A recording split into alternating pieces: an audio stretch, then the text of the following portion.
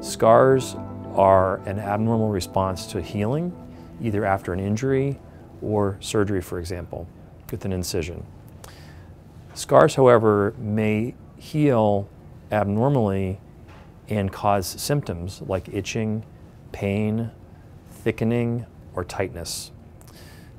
Therefore, managing these scars correctly is very important so that we can improve our outcomes for our patients. One of the things that we focus on is how does the skin heal and how can it be rehabilitated after this type of injury or incision. So therefore, the overall outcome is dependent on interventions that we may do after an injury or surgery.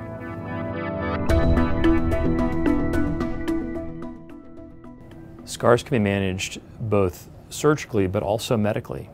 It's important to note that there are many non-invasive ways that we can treat a scar. The simplest perhaps is massaging the scar to remove some of the extra swelling that is present.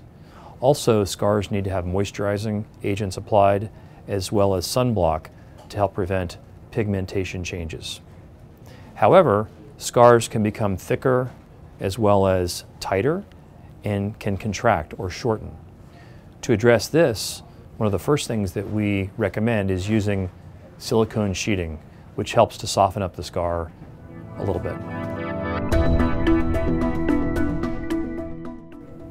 About 10 years ago, we realized that different lasers could be utilized to help treat scars, especially the abnormal scars that form after injury or surgery. The scars actually target different components of the scar that are abnormal. So rather than excise the scar with a scalpel, we have found that the scars can be rehabilitated. That is, we can actually address some of the abnormal properties of the scar.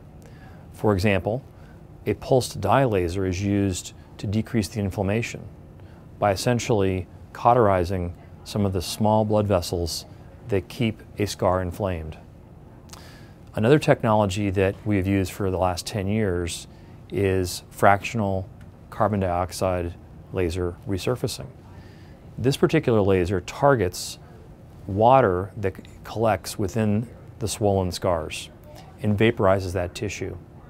What's very interesting is that the scar itself will remodel into a more natural uh, scar than what the patient may have experienced.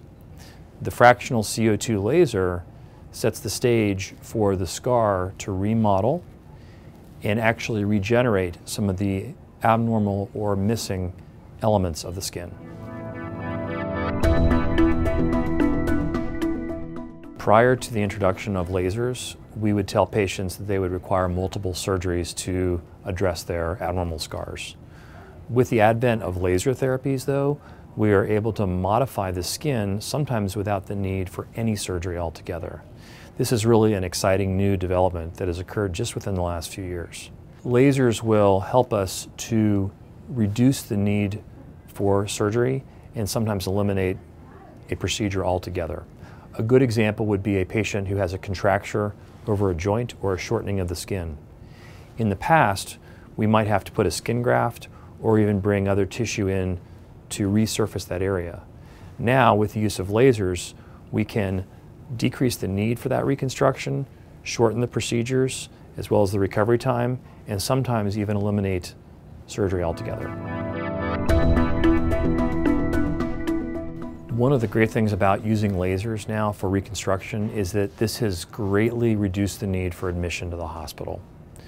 Lasers themselves do hurt quite a bit, and we do need to use general anesthesia or some type of deep sedation, but these are very quick procedures, extremely safe, and are done on an outpatient basis.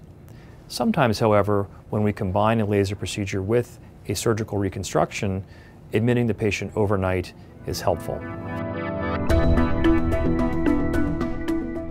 Recovery after laser treatment depends on the total area that we treat as well as the type of laser that is used. The pulse dye laser feels like a rubber band being snapped on your skin, which of course is not very comfortable. But if we have to do this over a large area, we do need to have some sedation for the patient. However, afterwards, the patient feels like they've got a minor bruise to that area. The fractional CO2 laser does hurt quite a bit as this is an invasive laser that actually causes vaporization of the tissues.